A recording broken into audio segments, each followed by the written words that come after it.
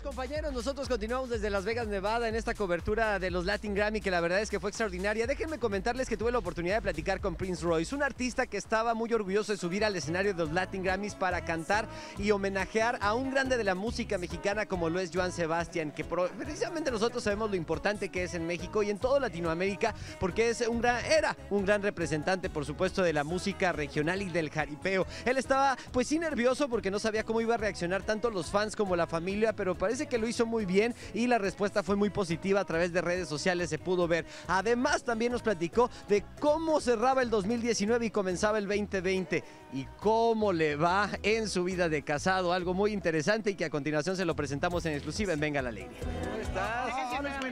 Un gusto, todo español, porque pues estamos en la música latina, ¿no? Es un orgullo. Sí, celebrando la música latina, para mí es un honor formar parte del opening, celebrando la vida de John Sebastian.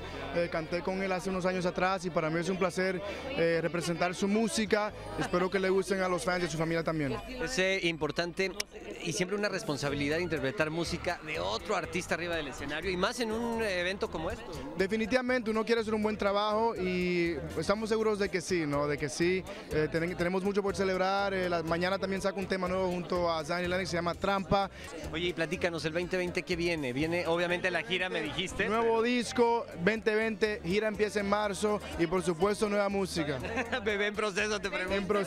Bebé en proceso, puede ser, puede ser. Estamos en práctica. Todo perfecto, tenemos un año, no ha cambiado nada. Mi gente, los quiero.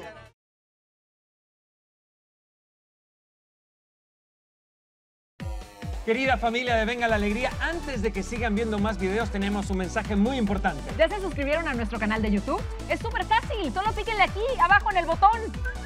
¿Eh?